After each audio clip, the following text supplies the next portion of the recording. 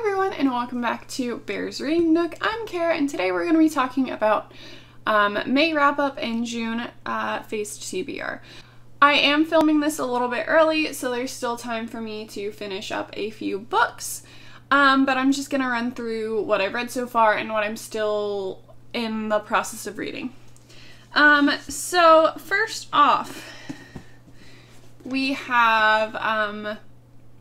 Gemina, um, read that. Uh, it's a three star average read for me. Um, basically, it didn't feel like its own original story. It just felt like it took different things from like stereotypical, like when I think of sci fi, I think of these specific things. And they basically just crammed them all in there and made a story with that. Um, it does follow um, after the events of uh, Illuminae. However, it focuses on different characters, so it didn't feel as connected to it as I would have liked. Um, so overall, it's just okay. Not my favorite. I still am interested to see what I think it's Obsidio is um, about. So I do plan on reading that one, but I don't have high hopes for it, but I'm still intrigued. Um, next we had, I believe, for sci-fi, Skyward Volume 1. Um, read that, really enjoyed it. This one was a reread for me, um, and I think this is a, like, four-star read. Um, I really enjoyed the story. Um, and basically, the story follows uh, Willa and basically talks about or brings up the idea of uh, if gravity was turned off, how humans would live. And uh, it basically follows Willa as the main character I believe, 20 years after gravity has been turned off. And so they've found ways to adapt and live um, in that uh, low or no gravity life. Um, next for gifted, we had Skyward Volume 2, which was gifted to me by one of my awesome friends.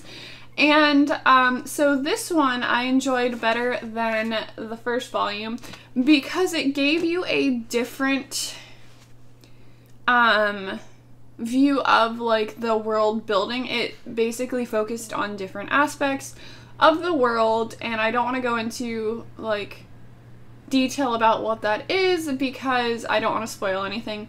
But I really liked it. Uh, the art in here is fantastic and this is honestly a five star read for me. I really enjoyed it and I'm excited to see where the next volume goes, and I believe the next volume is the last one, which is kind of sad, but um, I'm really excited to read that at some point. um, okay. Next, we have The Wedding Date, which was for, I believe, um, other or genre that I don't normally read. And um, I basically chose this for romance. And I talked about it in um, a vlog for the Shrek readathon, so I will link that um, down below as well as in the cards up there, I think. Um, but basically, this ended up being a DNF, but I did get to about the 200 page mark, so I did read a good bit of this. It just was really formulaic and not what I was looking for, I guess. Um, I didn't enjoy it. I enjoyed like the first 60 pages and then it just kind of went downhill from there. So, sad times. Really would have liked to um, enjoy this um, because one of my friends thought that I would. And now I feel bad because I DNF'd it. oh well. Um, next we have uh, the 10th Girl, which I've been listening to on audio. Um, I'm still listening to it, but I have no doubt that I will finish it before um, the month is over. I think I'm on chapter like 25, 26, and there's like maybe 10 chapters left in total. Um, so, yeah, no issue with that at all. Um, next is the Dream Defenders. I have started this. I am about 16, 17 pages in there. Um, this one I do plan on reading. Um, I'm planning on taking part in. By now, you'll probably already have seen video, or it will be coming up soon. Um, the do the thingathon, and um, this is the book that I'm going to focus on. There's another like couple of options that I have, but this will be the main focus because I want to get this done. Um, I've just been focusing on other books, and so this kind of like fell to the wayside a little bit this month. Um, also, you know, there's the fact that I just didn't read. I finished, I think, the first book halfway through the month, so it's been slow reading. Um, and then finally, I believe this would be the last book, The Girl with the Louding Voice, um, which I also have started. I'm on, I believe, chapter four. Yeah. Um, so this one is um, I I plan on reading this, but for now I'm setting it down because for me to get through this book, I think I will need the audio book. Um, and that is just because the way that it's written, and I think it's intentional, um, is from the perspective of a 14, almost 15 year old girl who um, was taken out of school, and therefore, like, she has an understanding of how to speak English, but it's not like how I would speak it in that it's like um instead of saying like um my mom was sick or something like that, it would say my mom had the bad or something like that where like you can understand and figure out what they were meaning but it takes more brain power and because of that i think that it would help me to read this as well as listen to the audiobook. So for now i'm setting it down because the audiobook is on hold but it was going to be like four to six weeks. So i am coming back to this. It will just be a little bit um, but i have started it so no punishment for that um, but yeah so those are the thoughts I have on those books. And I mean, I somehow am actually doing decently well this month, which was not what I was thinking would happen. So let's get into the board. Okay, rolling a d8 to see how many books I'm reading this month. And we got a three. Okay, I can do that. Okay, so the dice were nice to me, and we only have to do three card picks. I'm totally happy about that. Also, I've added the cards from last time up on the board. Um, we don't currently have another phase, so they'll stay up here until we do. Um, I'm still working on um, rewards. I have like a few ideas, but nothing set in stone. And as far as the punishments go, I need to update it, but I think I'm gonna um, have an extra, basically an extra pick from the cup of Kindle books, um, and that be the punishment. Um, there are some books in there that I am looking forward to reading, and some that I am not. So it's kind of like it, it could very well be an actual punishment, or it could be something that's like, okay, we're good with reading that. But I think because I'm confident that, excuse me, um, I will read all the books um, this month, I'm not taking a punishment. So let's get into the card picks. So the first card is a yellow 10. Let's see, yellow. One, two, eight, nine, ten. Okay. Oh, yes. This one is a passport pick, and I will explain that in a second. Okay, so the first pick was passport pick, and that basically means that we take this passport pa- passport to British Mysteries, um, which has um, seven different options for authors, one of which is a bonus author, and choose a book by them and read that. And then once you've done that, you get a little sticker to put in the little frame um, that corresponds with that author. And you kind of have collected that person um, like you would uh, get stamps in an actual passport.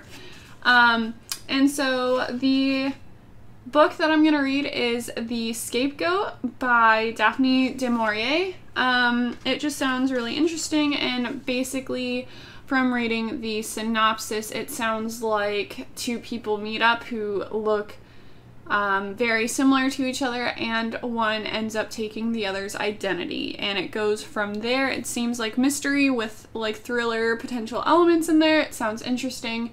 Hopefully, I enjoy it. Um, second card is A1 red one, um, which is this one.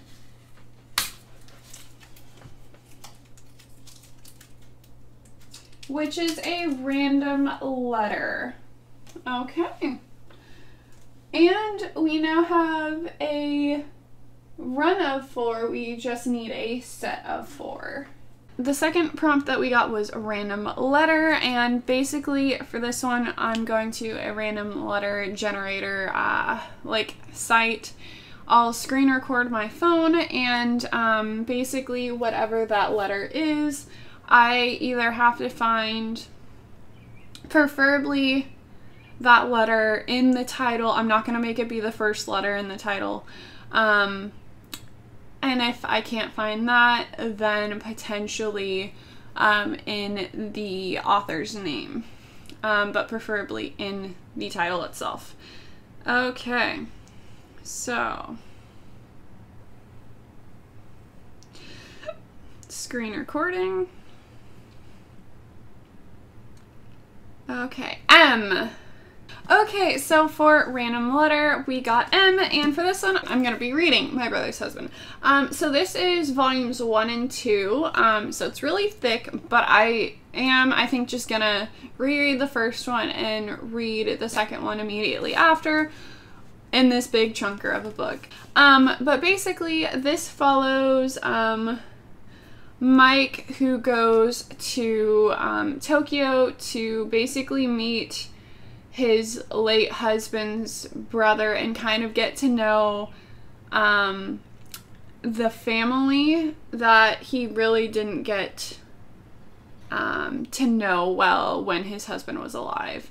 Um, it's really cute, um, and I'm excited to get back into this uh, story because I really enjoyed uh, the first volume when I read it a few months ago.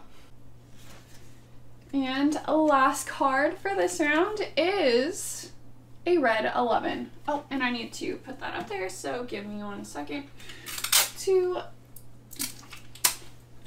put that up there and grab the 11th one, which would be down here.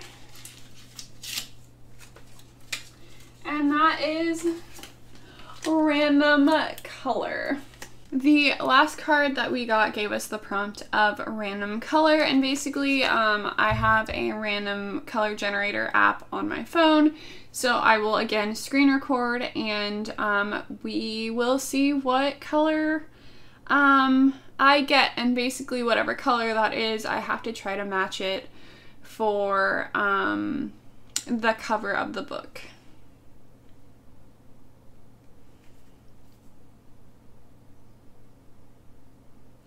Ooh, we got a nice purple color. Okay.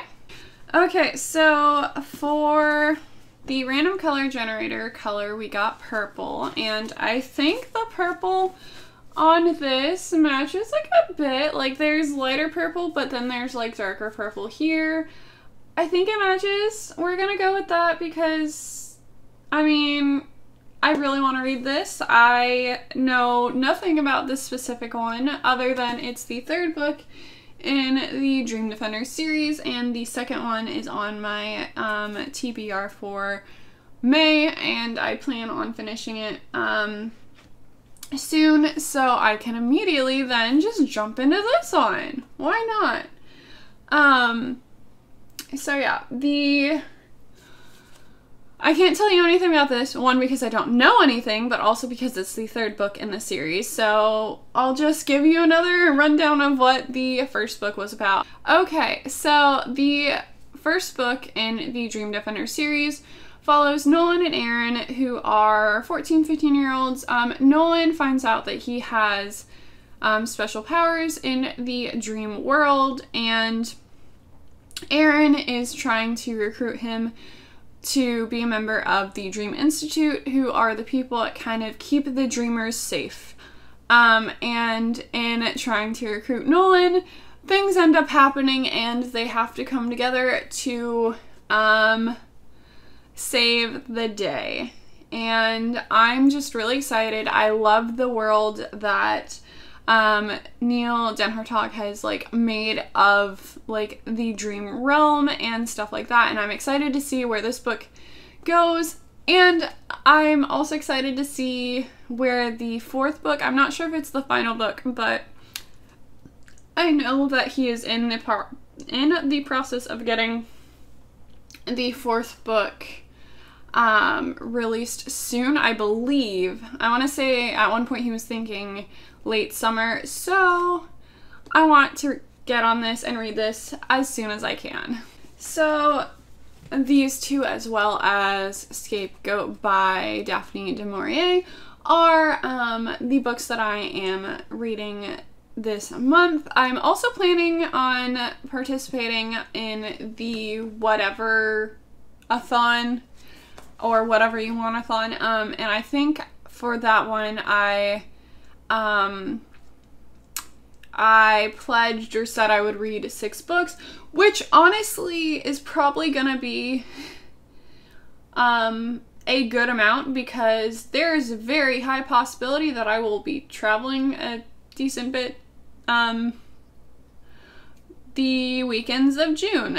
so, um, I'll probably end up reading the three books on here as well as potentially three others, um, one of which may also be the book club book, which I think I know what I'm going to do for um, my friend book club, but I need to get on reading the book for um, May for that, so we'll see what I end up deciding and I will possibly update you guys with what I decide to do for whatever a thon.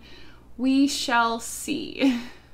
anyway, um, that's all for this video, so I will see you guys in the next one. Bye!